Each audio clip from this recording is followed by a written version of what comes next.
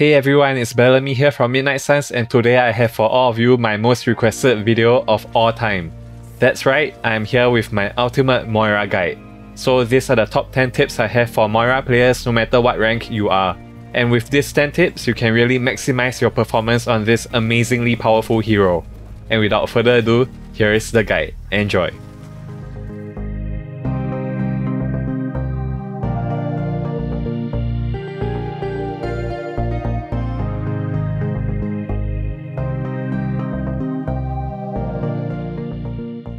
The first tip I have for you is to pre-heal your teammates. So if you know your teammates are about to get damaged, you can spray your Biotic Grasp healing on them preemptively before they actually take any damage. Your Biotic Grasp healing actually applies a lingering healing effect for 3 seconds. So your teammates will instantly start getting healed if they receive any damage within 3 seconds after you spray them.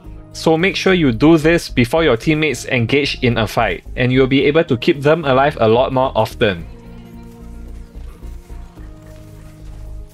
The second tip I have for you is to heal tap your teammates to conserve your healing resources. So if your teammates don't require heavy sustained burst healing, you can simply tap on your primary fire healing button on them and let the lingering effect do the job so that you can conserve your healing juice for when you really need it and that means you will usually end up healing your teammates for between 75 to 100 HP over 3 seconds with just that single split second of primary fire healing depending on how long you hold the button down. The third tip I have for you is to prioritize using your heal orbs as much as possible. While I know it might be tempting to throw your damage orb into the enemy team during every team fight, it is usually more efficient to throw a heal orb for your team instead.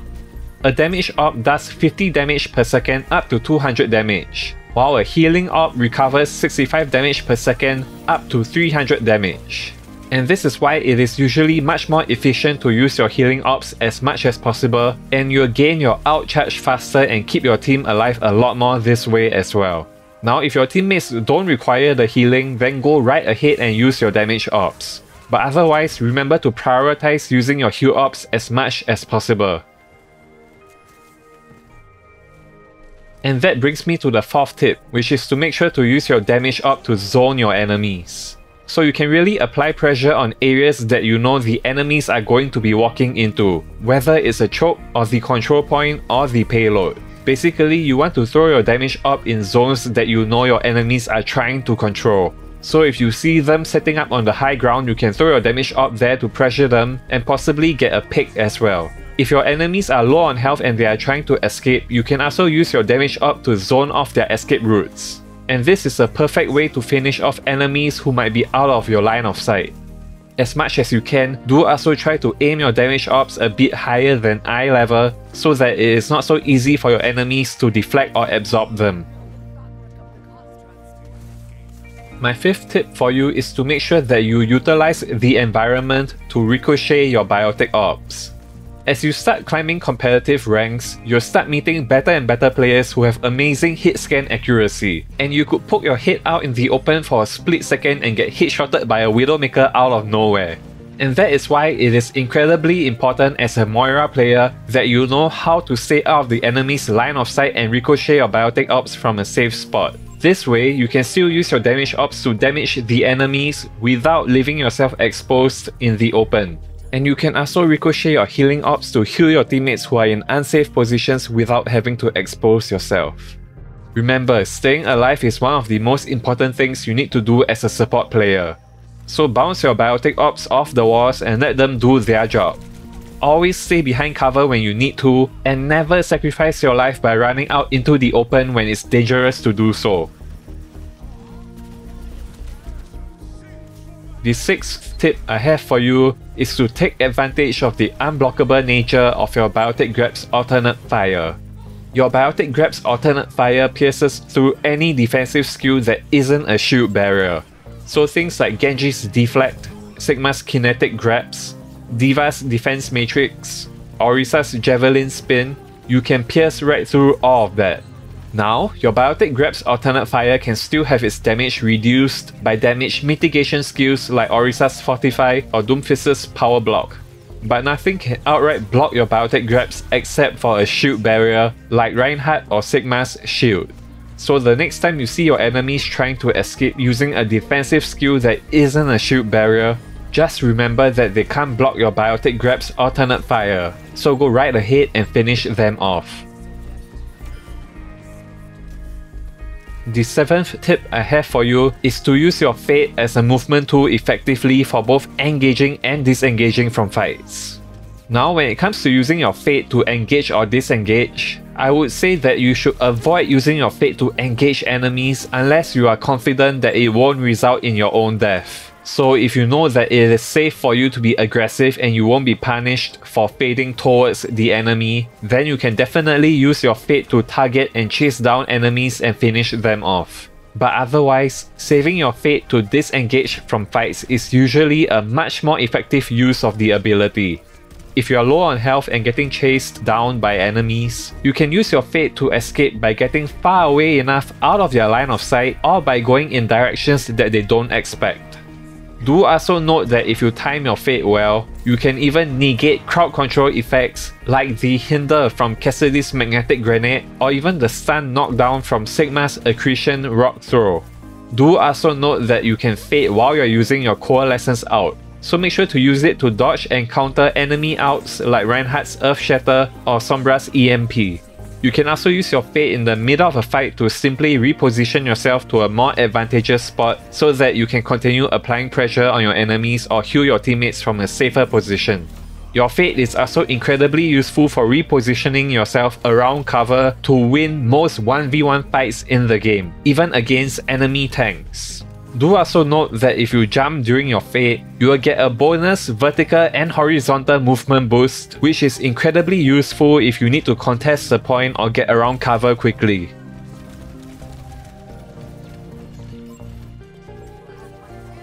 And the 8th tip I have for you is to optimize your Coalescence ultimate efficiency. So you ideally want to be in the backline behind your frontlining teammates when you activate your coalescence so that you can heal them while also damaging your enemies at the same time. Your coalescence ultimate pierces through all players and shield barriers. So you want to move around and line up as many of your teammates and the enemies in your line of fire as you can. Now, as much as possible, you want to focus on using it to heal your teammates and not just use it to do damage to the enemies because the beam heals 140 HP per second while only doing 70 damage per second. So it is much more efficient and optimal to use it to keep your teammates alive instead of only damaging your enemies with it. Now, if a bunch of your teammates are already dead and you are trying to use your coalescence to win a team fight on point, then you can go right ahead and be aggressive with it. But otherwise, try to prioritize healing your teammates with it first before using it to destroy your enemies.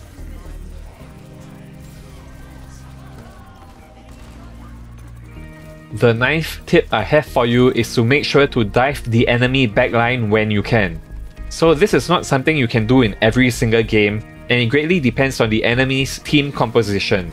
If they are playing heroes like Cassidy or Torbjorn that can punish you for trying to attack their backline, or if they have strong support players using heroes like Baptiste or Kiriko who can headshot and kill you in a couple of seconds when you try to dive on them in the backline, then don't dive their backline and instead play more defensively with the rest of your team. But if they are playing heroes that are vulnerable to your backline assault, then go right ahead and dive their backline and assassinate their supports or DPS if you can. But make sure that you save your fade to escape back to your team if things go bad. And the 10th and final tip I have for you is to make sure that you are prioritizing the right targets to damage and focusing on getting the right picks to win team fights.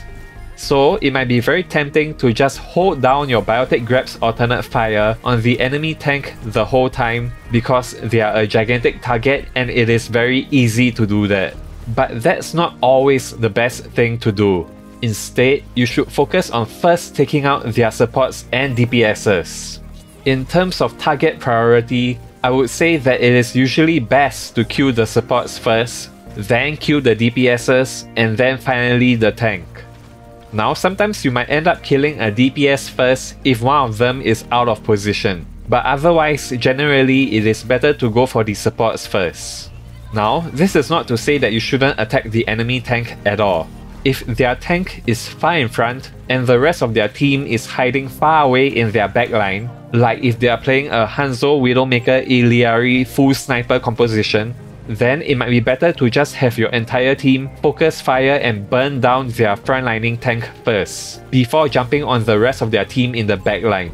But otherwise, if you can, in most usual situations, you should try to kill their supports first so that their team won't have enough heals, and then they will crumble and fall over like dominoes soon enough. And well, those are the top 10 tips I have for all of you to play Moira in Overwatch 2. Moira is an incredibly strong support hero that performs amazingly well at all levels of the game, from bronze all the way up to champion and top 500.